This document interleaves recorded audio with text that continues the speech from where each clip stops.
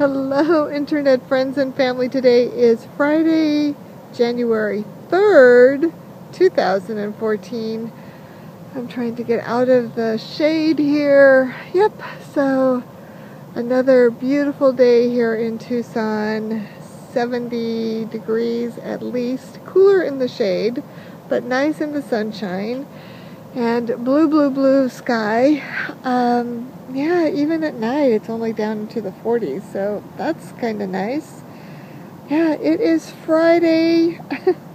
it's been, um, even though it's been a short week, it's kind of like, okay, it's the short weeks or the long weeks. Anyway, uh, it's Friday, the weekend is almost here, and I don't really have any big plans. I guess I'm going to stay home this weekend since I've been gone for the last couple of weekends uh, yeah, just kind of stay home, get caught up on some laundry and fun things like that.